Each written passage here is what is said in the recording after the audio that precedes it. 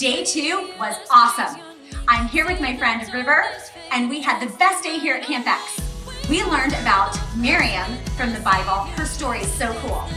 Tomorrow is Crazy Hair Day, so don't forget it. We can't wait to see you all on day three.